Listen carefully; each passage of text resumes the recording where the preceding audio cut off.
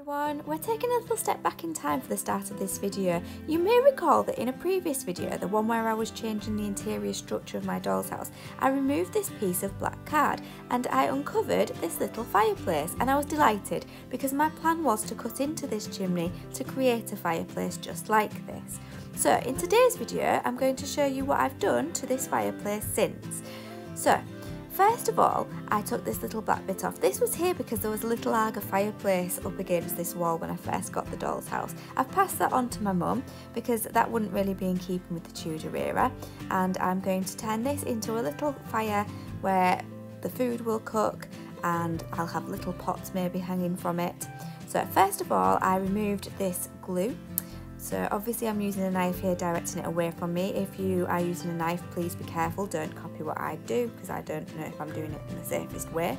I filled this little hole with polyfiller because I don't want the hole anymore. So obviously I needed to hide it.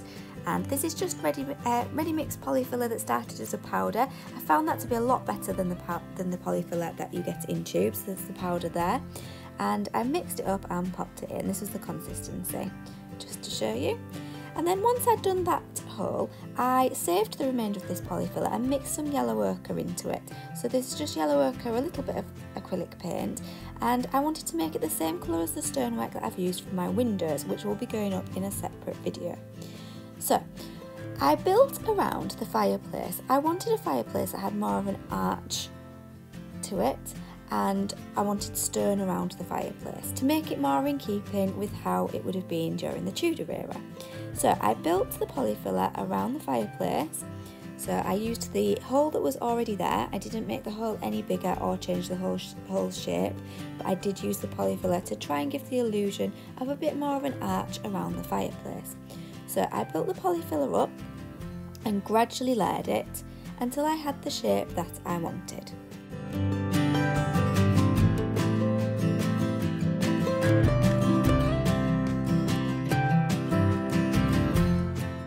Felt that the polyfiller had been layered to a thick enough depth, I then used the palette knife to smooth around the edges and to turn it more into the shape that I wanted. So you can see here that I'm trying to smooth off the top and to take away any excess to make it into more of the Tudor arch shape. I also did the same inside the fireplace to make that art shape and any bits that I felt were still missing, I added a bit more and then reshaped them.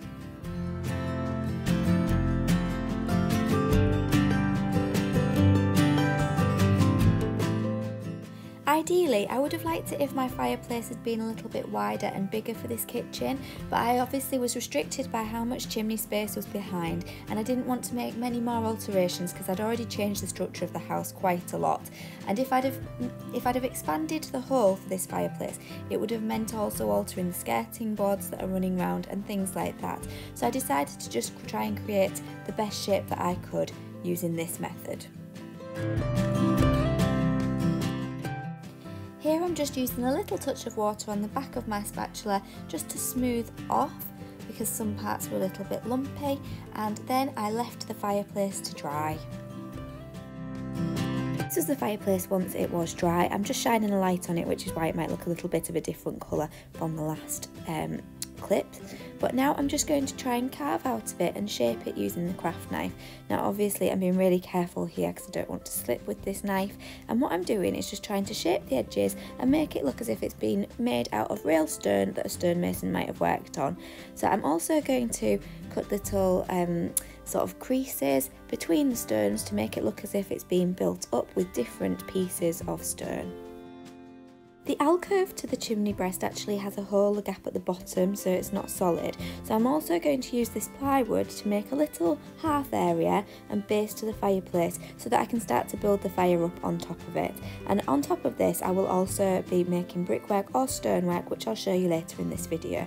Obviously I'm using my craft knife here to cut out this plywood. It's quite thin wood so it cuts quite easily, but I'm making sure that I'm cutting away from myself and keeping my fingers out of the way and then I'm just giving it a quick sand to get rid of any rough edges. Before building up the stonework onto this piece I thought I'd test it out for size and I'm glad I did because it was a little bit too big and the reason for this was because I measured inside the alcove but obviously I'd built the stonework up around so I needed to reduce the size a bit to get it through the gap. So once I trimmed it down a bit, it was nice and snug and fit perfectly, but there was still one problem, and that was that the area behind, so where the alcove is, dips down a bit. So I needed to raise the back of this piece of plywood so that it doesn't sort of sink as it goes in. So I attached two pieces of scrap plywood to the base at the back, which won't be seen when it's inside, and now it's time to build up the stonework or the brickwork. First I painted a base coat, this is just the wheatgrass wall paints that I'd used for the walls of the doll's house. And I'm putting this on just so that if there's any cracks or any visibility through the brickwork or stonework that I'm going to do, I want it to be consistent with the rest of the house, I don't want to be able to see the plywood.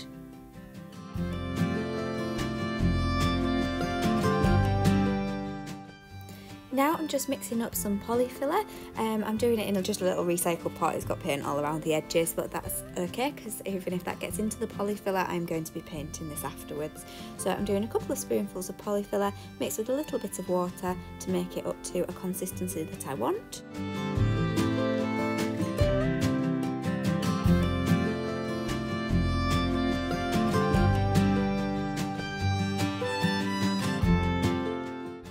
I'm smoothing my filler onto this little hearth area that I've made out of my plywood, ready to scrape in the brick patterns.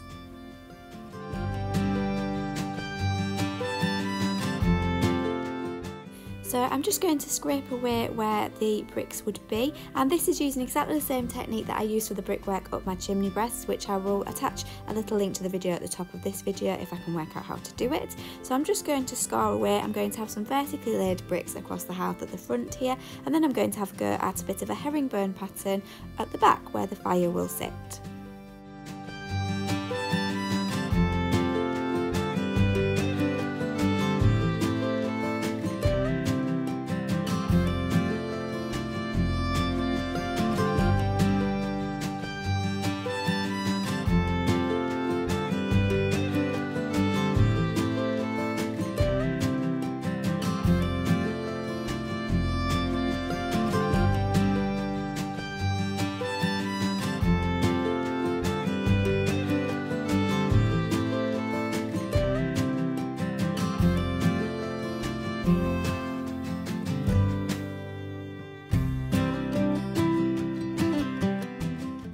Once this is dry I will paint it up like brickwork and whilst this is drying I'm going to use the remaining polyfiller to go and do the same brick patterns in the back of the chimney breast in the alcove.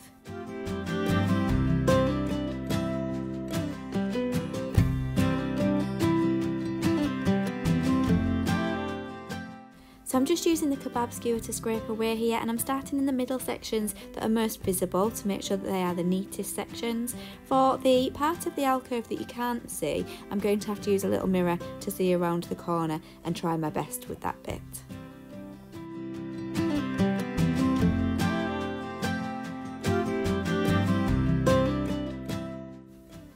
And then when this is finished, it is time to wait for it to dry so that I can start painting it. So once the hearth and the brickwork in the fireplace were dry, I just used some ready mix poster paint, the same one that I used when I painted the brickwork for the chimneys, and I did a base coat on both the hearth and the inside of the chimney, making sure that I got into all of the nooks and crannies to hide any of the white polyfiller.